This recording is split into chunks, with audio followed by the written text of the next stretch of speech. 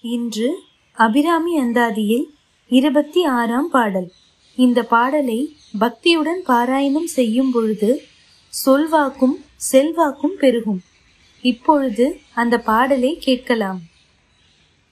ஏதும் மடியவர் ஈரேழு உலகினையும் படைத்தும் காத்தும் அழித்தும் திரிபவராம். கமழ் பூங்கடம்ப சாத்தும் குழலனங்கே.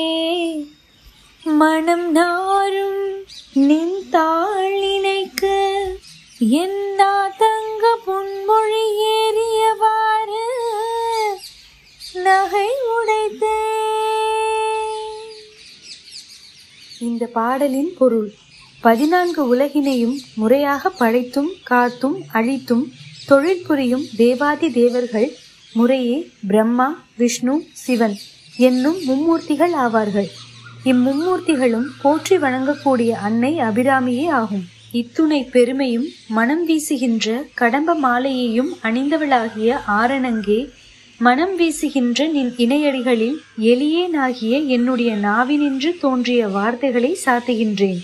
அவ்வாறு நின் திருவடியில் என் பாடல் ஏற்றம் பெற்றிருப்பது எனக்கே நகைப்பை விளைவிக்கின்றது.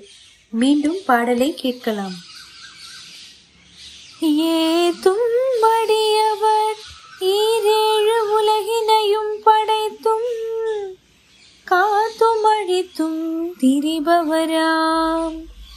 கமழ் பூங்கடம்பு சாத்தும் குழலனங்கே மனம் நாரும்